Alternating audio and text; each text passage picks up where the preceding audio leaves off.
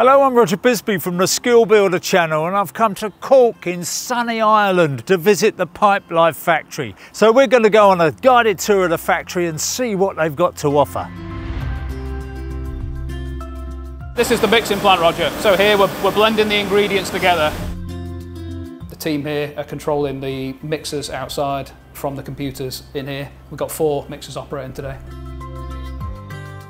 So in here we're making pipes, we're making fascia board and we're making roofline products. Of the 34 production lines, we're slowly replacing them to brand new ones. The green ones are the old ones, the grey ones are the new ones. So by the end of next year, all the old ones will be gone.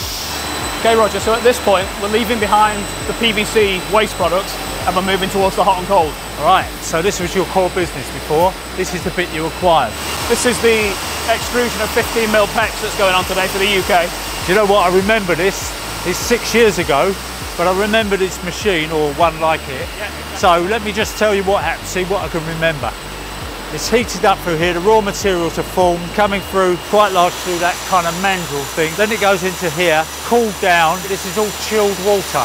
It doesn't look like that's moving, but that's moving rapidly through there. We've got dimensional and ovality checks going on here to make oh, sure that the pipe was within tolerance for the British standards. The right outer diameter, the right internal diameter. Now, is this a standard 15 mil or is it 16? So this is 15 mil for the UK, so central heating, underfloor. The printing's happening down there as well. The most important thing it's showing you, you can see the actual BSI symbol for the kite mark, and that's because we have the kite mark certification for the product. We are seeing a little bit in the UK market of non non-kite mark product coming in.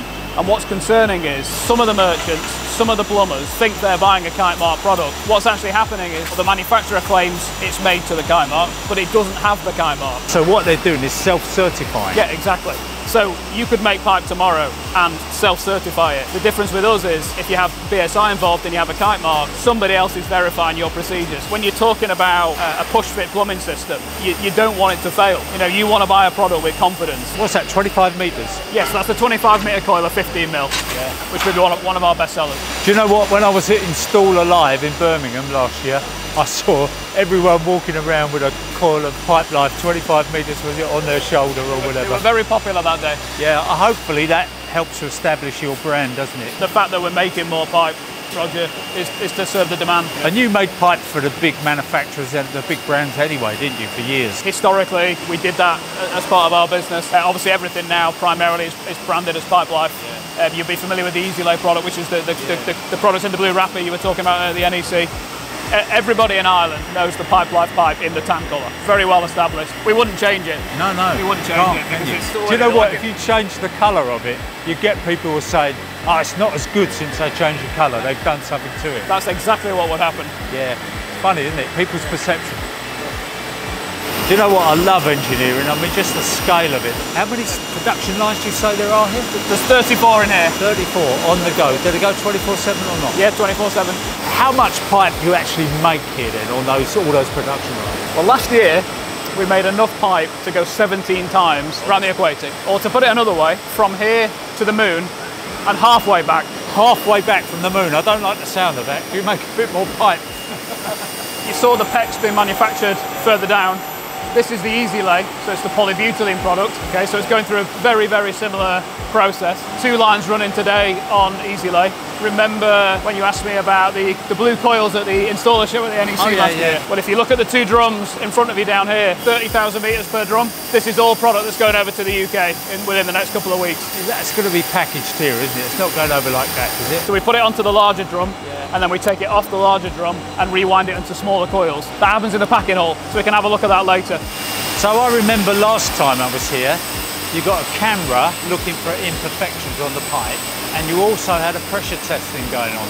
Did I miss that there? Was that done on that bit or not? It's still all going on. Yeah. I mean, the, the, same and more. So I'll show you the new, the new quality control room, which is bigger and better. Obviously, as the factory's grown, the quality lab has had to grow as well. This is all the certification for the products we have. WRAS approval, Regulation 31 approval, which is applying to It's a range of different that's products. That's DEFRA, isn't it? That's DEFRA. As we were referring to earlier, what you're looking for is the actual kite mark symbol. It's tricky for the installer to know, and it's frustrating for us when you do all those checks and balances. Obviously, you can see the scale of the, the, the quality control department mm. for the company. It's huge. But there's your assurance, there's your guarantee. There's the thing that if, if there is a problem, your insurance company's going to go, yeah, well, okay, fair enough.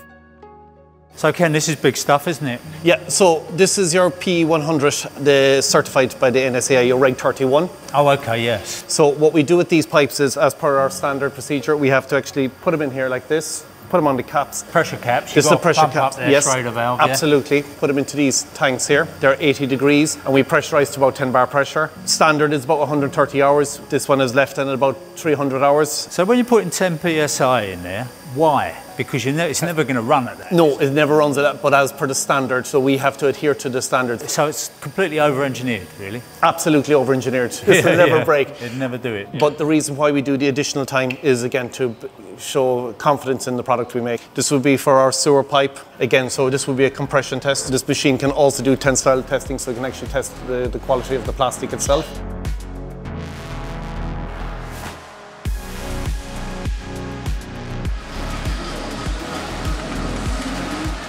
So this is the uh, what's this? 15 mil. This is a 15 mil 25, 25, yeah. EasyLay. This is exactly what we'll be sending to installer show. Oh, this is the stuff you see them Yeah. carrying man. It's exactly the coil. on their shoulder. Yeah. I think one of the things about this pipe as well is that portability, because in the back of your van you can stick a few rolls of this in there. You haven't got to worry about the roof rack, the legs. It's just in there. Yeah, ni- nice and easy. Easy to carry, easy to store. I must admit, I rarely buy the 25s. I normally buy the 50s. You know, just 25 and 50s, both of them be- they're best sellers for us. so this is lovely stuff, isn't it? You wouldn't want to put this over your shoulder. Yeah, insulated, ducted, and obviously then you've got you've got two pipes as well, two barrier pipes within that, encased in, in, in- encased inside. This is Irish pipe for the Irish market. Tan colour. Yeah, and obviously we have same a- pipe, different colour. Yeah, and then in the UK market, we have a, a, a wider range available under the main core brand. So different diameter pipes, different colour pipes, They could use it for heating or water supplies or whatever. whatever. Wherever you need to need to transport water from A to B, under the ground.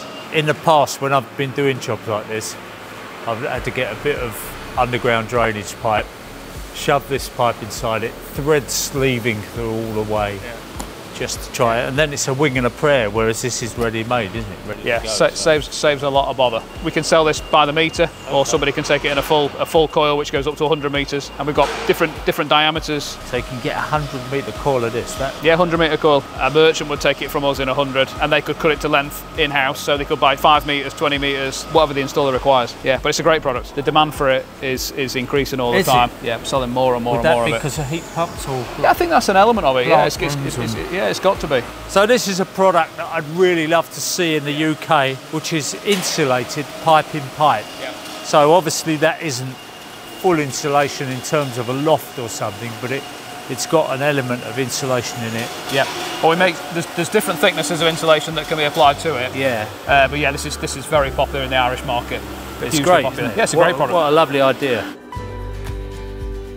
So this one's staying in Ireland. This truck, How do you know that? colour of the pipe, tan pipe. Well done, Roger. You're learning already. We've got about 25 trucks a day going out, 10 trucks a day coming in. It's a heck of a management, transport-wise. Obviously, some of these go over the water. There's a, there's a huge number of trucks that go over the water every day back to the UK. So yes, split between UK and Ireland.